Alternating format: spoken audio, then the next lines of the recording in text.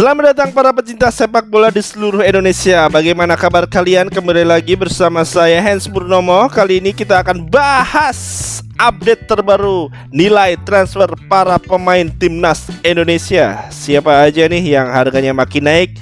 Yuk langsung kita saksikan bersama. Yang pertama kita memiliki Rafael Strike Dengan posisi depan tengah umur 21 tahun, kemudian dia bermain untuk klub ADO Den Haag di Belanda. Rafael Strijk memiliki nilai, nilai transfer sebesar 1,3 miliar rupiah. Yang kedua, kami memiliki nama Nathan Choaon dengan umur 22 tahun dan bermain untuk Swansea City. Dia memiliki nilai transfer sebesar 6,08 miliar rupiah. Kemudian yang ketiga, kita memiliki Ivan Jenner dengan umur 20 tahun bermain di FC Utrecht. Dia memiliki nilai transfer sebesar 6,08 miliar. Kemudian di daftar berikutnya kami mempunyai nama Ragnar Urat Mangun. Dengan umur 26 tahun ini dia bermain di FC Groningen dengan posisi sayap kiri.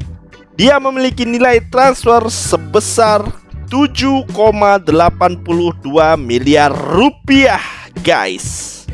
Kemudian berikutnya ada Shane Patinama.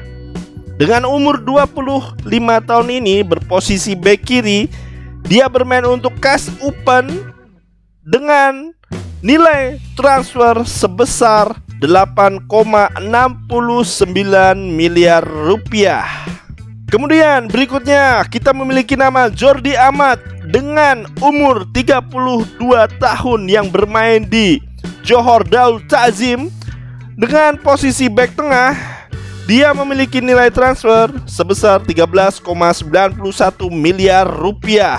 Kemudian di daftar berikutnya kami mempunyai nama Sandy Walsh dengan umur 29 tahun berposisi back kanan.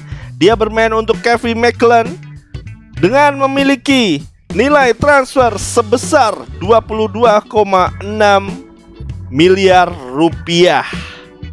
Kemudian daftar berikutnya ada nama Calvin Verdong dengan umur 27 tahun ini memiliki posisi di back kiri bermain di klub NEC Nijmegen dengan nilai transfer sebesar 43,45 miliar rupiah. Kemudian yang berikutnya ada nama J. Ejes Tentu saja ini berposisi back tengah dengan umur 24 tahun. Bang J ini bermain di klub Venezia FC yang sekarang naik kasta di Liga Serie A Italia. Memiliki nilai transfer sebesar 43,40 miliar rupiah teman-teman.